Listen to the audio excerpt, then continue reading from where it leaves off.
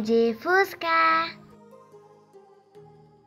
Pessoal, bobina do Gol MI, pessoal. Bobina do Gol MI, o que é que pode, o que não pode. Esse negócio bobina do Gol MI já foi uma confusão, muitas vezes na internet, polêmica por causa disso. Então, ó, quer, quer usar bobina do Gol MI? Primeira coisa que eu, te, eu vou te recomendar, se você quer usar bobina do Gol MI no Fusca, você tem que ter o famoso quebra-galho. Você tem que ter uma bobina de socorro no, no, no teu Fusca, guardadinha lá, porque porque se ela der pau, tu não vai ficar no meio do caminho. É a primeira coisa que eu te recomendo no uso da bobina do GoMI. Quer usar? Não, mas eu quero usar a bobina. Eu decidi depois de assistir esse vídeo, eu vou explicar algumas coisas aqui. Depois de assistir esse teu vídeo, eu decidi que eu vou usar a bobina do GoMI. Quer usar? Pronto, usa. Agora, ó, tu vai ter que ter um suportezinho, um suportezinho desse aqui, porque isso aqui evita te deixar na mão. Já me evitou, eu uso, por exemplo, eu uso a bobina do GoMI, mas eu tenho aqui, ó, porque eu já sei quais são os problemas que a bobina do GoMI tem. Não é que a bobina do GoMI não, não preste, é que a bobina do GoMI não foi feita para esse sistema aqui, ó. E vou mostrar a vocês o sistema que muitas pessoas usam ela. Vamos lá pro carro. As pessoas usam a bobina do GoMI nesse sistema aqui, ó, sistema aranha transtorizado, ó. Mostrando aqui para vocês. Sistema aranha transtorizado. Muitas pessoas usam a bobina do GoMI nesse sistema. Então, eu vou voltar para lá para a bancada para dar mais algum, algumas explicações a vocês. Porque, é, e, e, conselhos, né? Conselhos para quem quer usar a bobina do GoMI, que a maioria dos mecânicos não recomendam. Pessoal, se é uma coisa que muito boa, mas que te engana muito no Fusca, esse tipo de bobina aqui. Se você qual é o problema de se usar essa bobina no Fusca? Minha experiência pessoal. Ela dura muito pouco, cerca de um ano e pouco, ela já está indo embora. E quando ela começa, a, aqueles velhos sintomas de bobina, cortando, carro só alavancando, você já sabe, depois de um ano que você vai usando, você já sabe que é ela. Então, mas eu não fico com medo de ficar na mão porque eu tenho meu suporte aqui. Você ter ideia, as pessoas fazem assim, teste de bobina mesmo, no multímetro se eu testar essa bobina, isso engana muito. O próprio manual, pessoal, o próprio manual das bobinas, elas dizem que se mesmo as bobinas estando boas aqui, fazendo o teste de resistência, mesmo assim a bobina ainda não é de confiança, ela ainda pode, pode estar com problemas. E muitas dessas bobinas, elas, sabem micro rachaduras aqui, ó, que você nem percebe a olho nu, e elas escapam, né? Elas escapam a amperagem. Outra coisa também, pessoal, ela esquenta muito também. Mas quais são os benefícios dela? Os benefícios dessa bobina aqui, ela não precisa de pré-resistência, como muitas pessoas botam, porque o carro de fábrica tem uma pré-resistência, ela não precisa de pré-resistor e ela aguenta você viajar bastante para longe, entendeu? Mas ela esquenta bastante, ó. ela esquenta tanto também que chega derrete, derreteu lá o material lá do carro. Ó, essa aqui é uma bobina já queimada entendeu? Essa aqui é uma bobina boa, ó. Entendeu? Então os benefícios dela, a vantagem é que você faz viagem longa, entendeu? Ela tem, dá, uma, dá um fogo grande mesmo ali no carro. Uma bobina dessa aqui é dar um fogo alto no carro, de, cerca de, pode cerca de 28 mil watts de, de, de mas isso é, de certa forma isso é ilusão, porque para vela, se eu não me engano, só vai 10 mil vai 10 mil. Então esse negócio de usar isso aqui porque vai dar mais fogo, isso é besteira, isso é ilusão. Entendeu? O que vai dar mais é tranquilidade para você viajar. Você pode viajar com ela à vontade, não ter esse negócio de o carro tá parando no meio do caminho não. Ela aguenta rochão mesmo no carro. Por isso que muita gente usa ela. Mas vamos lá. Eu vou mostrar a vocês lá como é que quem quer instalar essa bobina, eu vou ensinar aqui como é. Não tem muita coisa que fazer não. É você identificar os fios lá e você instalar. A primeira coisa que você tem que ter para instalar uma bobina dessa aqui, você usa um adaptadorzinho que eu vou pegar aqui. Para você instalar ela, você compra ela. Você pode pedir para o teu eletricista lá instalar, mas sabe que você vai ter que ter. Se você quiser instalar em casa, você vai ter que ter um adaptadorzinho desse. Ó, positivo, você bota aqui, ó. Pronto, tá vendo? Positivo ficou aqui, ó. Esse aqui negativo, que fica aqui na bobina. Nessa bobina aqui se chama bobina, essa bobina aqui se chama bobina plástica, essa aqui é asfalta.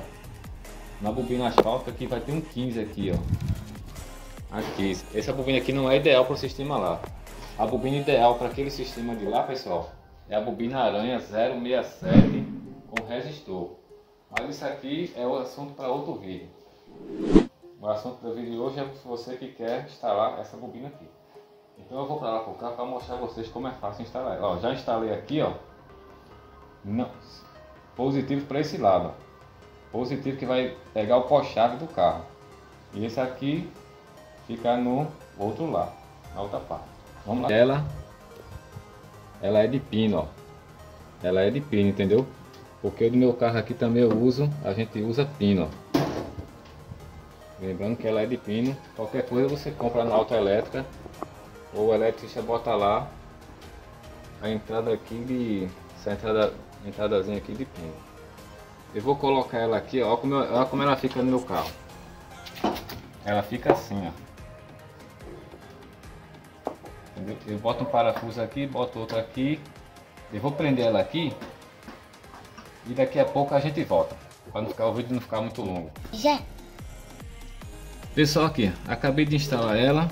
Como eu expliquei a vocês lá, esse aqui é o positivo. Quando você desmancha a tua gambiarra, marca qual foi o positivo pós-chave lá do teu carro. Na tua bobina tem lá um X, 15, 15x. Então tu marca o fio direitinho, deixa separado direitinho para não se perder, porque muitas vezes você sem fazer isso aqui, sem entender muito de elétrica, você vai ficar meio perdido. Para quem tem costume de fazer, né? Ó, tudo isso aqui é o positivo pós-chave. Esse aqui é o fio positivo pós-chave que vai ficar nesse. E esse aqui é o outro fio que vai para aqui, ó, a caixinha. A caixinha transistorizada. Então tudo isso aqui fica conectado, ó. Tudo isso aqui e esse outro aqui que vai para aqui, ó. O que sobrou. Se o positivo fica nesse, o que sobrou você já sabe, né? Isso aqui deve ser o secundário. A bobina tem esse negócio, fio primário, fio secundário. Aqui, ó. Já está instalada, tá vendo? Eu vou isolar. E esse aqui, ó, para não esquecer, que vai para o distribuidor. Tá vendo? Uau! Gostou, Bequinha? Deixa eu tirar de novo, vou mostrar. Pronto, agora eu senti que ele encaixou, tá vendo? Pareceu ventilador. A gente vai, eu vou isolar esses dois fios aqui. Vamos isolar, Bequinha? Tá bom. Já. Vamos isolar aqui, né, pessoal? Porque senão pode dar um curto aí. E dar problema. Ai, ai, não pode dar problema. Não pode, né, Rebeca? Rebeca é minha ajudante. Não pode se. Aqui, ó, já tá instaladozinho. Então tudo que for do positivo, pessoal, que tiver relacionado no positivo, você separa, porque esse fio positivo vai ficar conectado com esses aqui, ó, pós-chave. Para você não se atrapalhar, vezes você não tem costume de mexer em parte elétrica, né? E o outro que sobrou é o que vai para a caixa, ó. Ele vai para um pino aqui da caixa. Aqui já está instalado. Aqui se ficou bom já tem que pegar. Lembrando pessoal aqui, eu vou mostrar vocês a gambiarra aqui. Pra... Eu vou ligar o carro para mostrar a vocês se ele funcionando. Para ver se ficou bom, né? Mas lembrando pessoal, não dura muito esse sistema aqui no carro não. Não dura. Entendeu? Aqui é o distribuidor. Vamos pra gente não esquecer, né, Beca? Ai, Vamos ai. fechar aqui. Vamos colocar a tampinha do distribuidor, né? Aqui, ó. Também não tem erro. Uau, é bem fácil. É só encaixe. É, aqui já tá prontinho. Bom, Deixa eu mostrar lá uma coisa ao pessoal daqui. Já. Não, filma não. não, já. Lembrando aqui, pessoal, ó, para usar com esse sistema aqui, ó, consulta o manual da Bosch, consulta. Pelo meu conhecimento, esse sistema aranha tem que ser a bobina, aquela bobina vermelha 067, 067 com resistor, com resistor. Muita gente faz isso. Eu nunca usei, mas o correto é esse. Aqui, como eu me acostumei a usar a bobina do GMI, você viu lá, ficou bonitinho, mas eu tenho essa aqui como suporte, ó. Porque aqui é o positivo, ó. 15 é o positivo. Quando ele, se precisar de uma emergência, eu já sei, ó, o 15 é esse fio aqui. Parece uma Entendeu? O garrafinha. outro é esse, eu conecto aqui. E aqueles que você já sabe que vai pro distribuidor, conecta aqui e a pessoa já não fica na mão, né? Um dia desse aconteceu já comigo, o carro parar no meio do caminho, esse a bobina já era, a bobina já estava antiga já, já foi, já era. Mas eu tinha esse daqui de suporte, eu botei no carro e ninguém ganhou de mim, né? Foi embora. Então vamos ligar para ver se ficou bom, né, Beca? Ai, ai, já. Eba! Liga!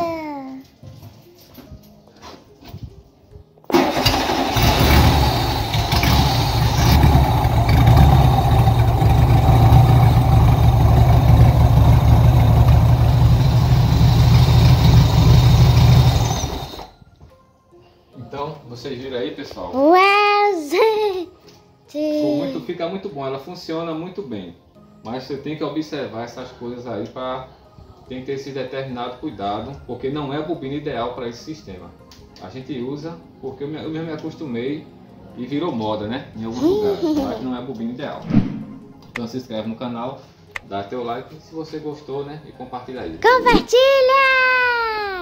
Vem de Fusca!